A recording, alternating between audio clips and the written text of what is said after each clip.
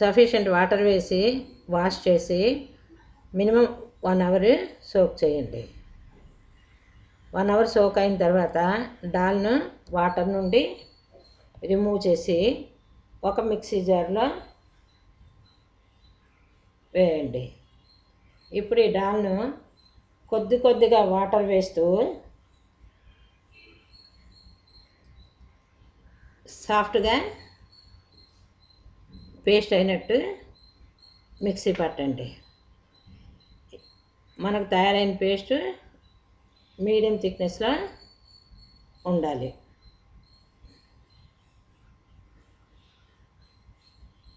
తర్వాత ఒక వెట్ ప్లేట్ని తీసుకొని ఈ గ్రీన్ గ్రామ్ డాల్ పేస్ట్ని అందులో సేమ్ లెవెల్లో వేయండి. వేసి ఈ పేస్ట్ని మనం స్టీమ్ చేయాలి. స్టవ్ స్టవ్ మీద కుక్కర్ పెట్టి కుక్కర్లో కొద్దిగా వాటర్ వేసి ఈ ప్లేట్ని వాటర్ మీద పెట్టండి. ప్లేట్ కింద చిన్న గిన్నెతో నీళ్ళు ఉంచకపోతే కుక్కర్లో వాటర్ ఈ ప్లేట్లోకి వెళ్ళిపోయే అవకాశం ఉంది. ఇది టెన్ మినిట్స్ స్టీమ్ చేశాక బయటికి తీస్తే ఈ విధంగా ఉంటుంది. దీనిని మనం కొద్దిగా వేడిగా ఉన్నప్పుడు విప్పాలి. విప్పితే ఈ విధంగా తయారవుతుంది. ఇప్పుడు ఒక కుకింగ్ వెజల్లో షుగర్ తీసుకొని అందులో కొంతగా వాటర్ యాడ్ చేసి మిక్స్ చేయండి. మిక్స్ చేసాక ఫైవ్ మినిట్స్ కుక్ చేసి కోకోనట్ కూడా కలిపేయండి కోకోనట్ వేసాక మరో ఫైవ్ మినిట్స్ కుక్ చేయండి. కుక్ చేసిన తర్వాత ఇప్పుడు ఈ షుగర్ సిరప్లో మనం పైన విప్పి ఉంచుకున్న గ్రీన్ గ్రామ్ డాల్ కుక్కుడు గ్రీన్ గ్రామ్ డాల్ని వేసి శుభ్రంగా మిక్స్ చేయండి. ఈ విధంగా మిక్స్ చేస్తూ మీడియం సిమ్లో స్టవ్ ఉంచండి. ఈ షుగర్ సిరప్లో ఉన్న వాటర్ అంతా ఎవాపరేట్ అయిన దాకా కుక్ చేయండి. కుక్ చేస్తే ఫిల్లింగ్ తయారైనట్టే దాన్ని స్టవ్ మించి దించి కొద్దిగా చల్లారాక స్మాల్ రౌండ్ బాల్స్ ఫిగర్లో చూపించిన విధంగా తయారు చేయండి. ఈక్వల్ సైజులో. ఇప్పుడు పైన ఉన్న కవర్ అంటే తోపు తయారు చేసే విధానం చూద్దాం.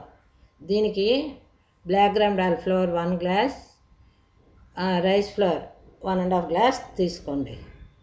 తీసుకొని వాటర్ వేసి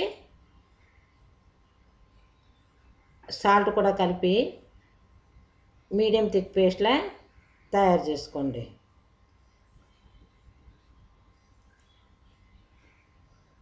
ఇప్పుడు ఈ విధంగా తోపు తయారవుతుంది. ఫ్రైయింగ్ ప్యాన్లో ఆయిల్ తీసుకొని హీట్ చేయండి. ఆయిల్ హీట్ అయ్యాక బాగా హీట్ అవ్వాలి. హీట్ అయ్యాక పైన తయారు చేసిన బాల్స్ని ఒక్కొక్కటి ఈ తోపులో ముంచి నాలుగు ఫింగర్స్తో పట్టుకొని ముంచండి. ఉంచి వేడి ఆయిల్లోని జాగ్రత్తగా వేయండి. ఈ విధంగా ఆయిల్లో పట్టినన్ని బూర్లు వేసి ఫ్రై చేయండి. కొద్దిగా కలుపుతుండండి. ఇవి లైట్ బ్రౌన్ అయ్యాక ఆయిల్లోంచి రిమూవ్ చేసి టిష్యూ పేపర్ మీద వేసి తర్వాత సర్వింగ్ బౌల్లోకి తీసుకోండి. ఇప్పుడు పోలుపొన్న పూలు తయారయ్యి మనం సర్వ్ చేసుకోవచ్చు.